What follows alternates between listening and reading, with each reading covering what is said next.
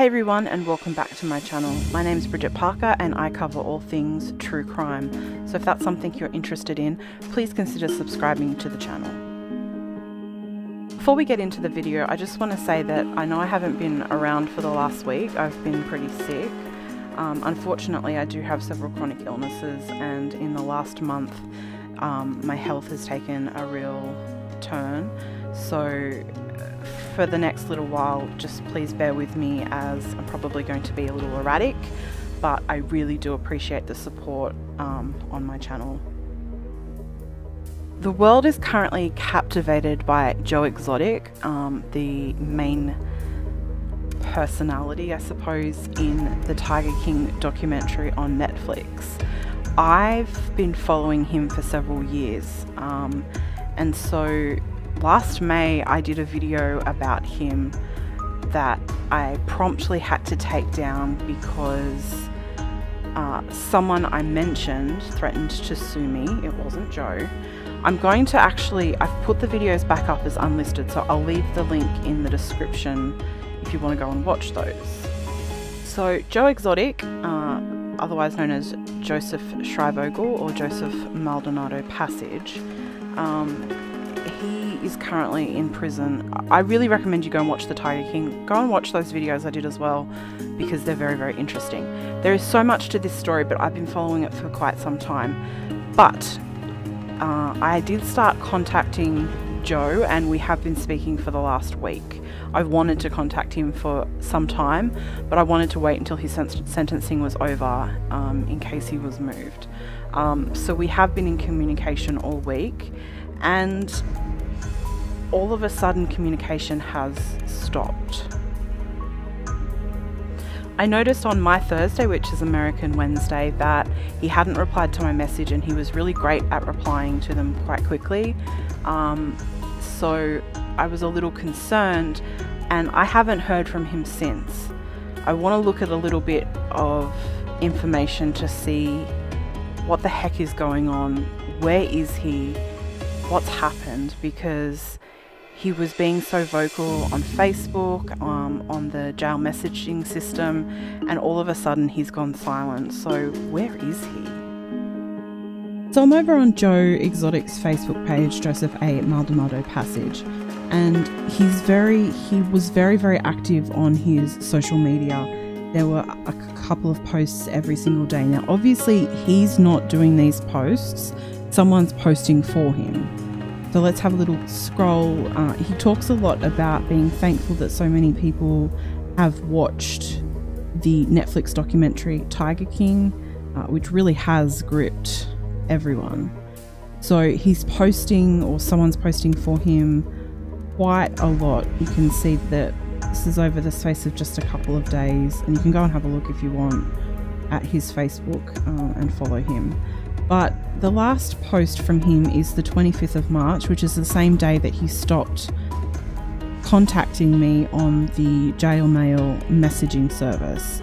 He just went completely quiet on there. So let's have a little look at what else I was able to discover. So I went back through our messages and went to message him again, and this is actually what came up um, as that happened. So it says, sorry the person you are attempting to contact is currently inactive. Please choose another person to send a message to. So it says that um, Joseph Maldonado Passage from Grady County Jail is inactive. Now, if it was just the messages that were inactive, I'd think, well, maybe he was getting a, like a flood of messages, so he stopped communication. But the fact that his Facebook page hasn't been updated since the same day he stopped replying to my messages does actually make me question things a little. Did Joseph decide to end all communication with everyone? I highly doubt it because he was so passionate when he was writing to me about being happy that so many people were contacting him and wanting to find out about his case he seemed in good spirits and that he wanted as many people as he could to get the word out about his case. He wants to uh, have President Trump pardon him. Did Joe get moved for his own protection? I don't know. There's a lot of attention on him at the moment, so maybe he became a target. Um, was he moved for other reasons? It's just really interesting that the week that everyone's learning about him that didn't know who he was, uh, his all of a sudden communication has ceased everywhere. Um, did he get sick? Uh, you know, we I had spoken to him about being concerned because he does have a lot of health issues. Did he get sick? Is that why he's not talking? I don't know. I'm going to continue to do my respectful stalking and seeing what I can find out. If anyone finds anything out, please let me know in the comments or send me an email, missbridgetparker at gmail.com. I hope that he's okay.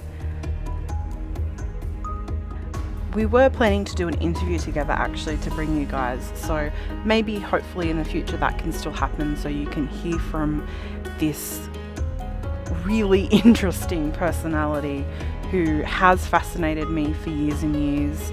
Uh, so I'm, I'm glad that everyone can see the Joe Exotic that I've been fascinated with for, for all of this time. I have sent off an email to see if I can find anything out.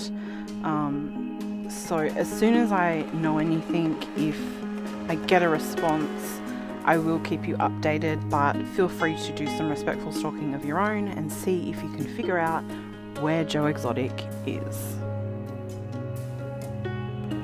Don't forget to go and watch those videos. It's a part one and two of the story of Joe Exotic um, and go and find out the reason that I was almost sued.